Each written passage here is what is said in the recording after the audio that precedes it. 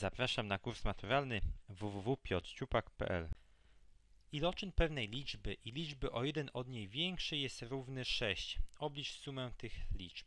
Czyli iloczyn pewnej liczby, czyli mamy jakoś sobie liczbę, a powiedzmy, niech to będzie liczba a i liczba o jeden od niej większa, czyli jakaś liczba a plus 1. No i mamy iloczyn tych dwóch liczb, czyli to jest a razy a plus 1 i on ma być równy 6, czyli mamy iloczyn pewnej liczby liczby o jeden od niej większy jest równy 6.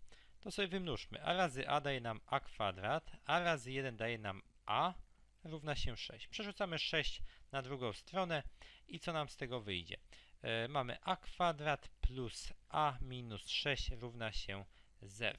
Naszym zadaniem jest obliczyć sumę tych liczb. Czyli chcemy policzyć ile to jest a dodać a plus 1 no to będzie oczywiście 2a plus 1, czyli musimy znaleźć wartość a. Ile wynosi a? No to do dzieła. Mamy tutaj równanie kwadratowe, liczymy sobie deltę. Delta, czyli to będzie b kwadrat minus 4ac, z tym, że uwaga, to a i to a to są inne litery. Ja mogę za a wstawić x i też byłoby, w sumie by się nie myliło. Yy, myślmy o tym, że to są xy po prostu, tutaj xy, tutaj xy, albo po prostu, już mówię o co chodzi.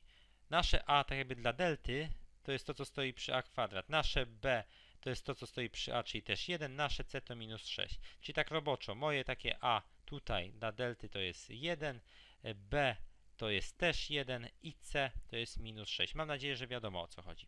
Liczymy sobie deltę, czyli to jest 1 do kwadratu, czyli 1 odjąć 4 razy 1 razy minus 6, czyli to jest po prostu 1 dodać 24, czyli 25. Nasza delta to jest 25. Pierwiastek z delty to jest pierwiastek z 25, czyli 5. No i liczymy sobie A1 i A2, czyli miejsca zerowe.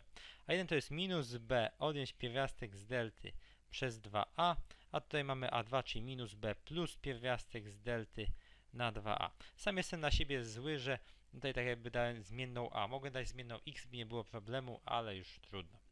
Czyli nasze a1. a1 to będzie minus b, czyli minus 1 odjąć pierwiastek z delty, czyli odjąć 5, podzielić na 2a, czyli dzielimy sobie na 2, czyli mamy minus 1, odjąć 5 to jest minus 6 na 2, czyli minus 3, to jest jedna propozycja, yy, znaczy jedna, jedno rozwiązanie.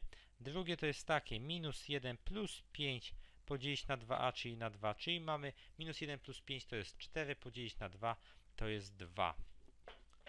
No to zobaczmy, suma tych liczb, czyli a plus a plus 1, czyli 2a plus 1, ile to wynosi?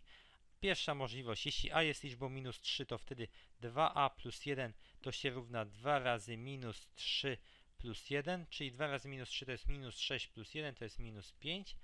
Drugi scenariusz jest taki, że to jest po prostu 2a plus 1 to się równa 2 razy 2 e, plus 1. 2 razy 2 to jest 4 plus 1 to jest 5, czyli albo ta suma wynosi 5, albo minus 5.